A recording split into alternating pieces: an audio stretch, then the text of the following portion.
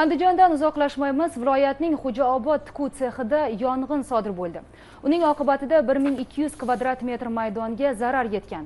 Favqulodda vaziyatlar vazirligi bergan xabarga ko'ra yong'in 14 iyun kuni taxminan soat 1:44 larda boshlangan. Olovni o'chirish uchun 13 ta yong'in o'chirish ekipaji jalb etilgan. Yong'in soat 02:15 da o'rab olinib 3:45 da to'liq bartaraf etilgan. Qutqaruvchilarning sa'y harakatlari tufayli mazkur sexning yerto'lasidagi qiymati 3 milliard so'm bo'lgan tayyor mahsulotlar 6 ta isuzu avtobusi saqlab qolingan. Yong'inning kelib chiqish sabablari o'rganilmoqda.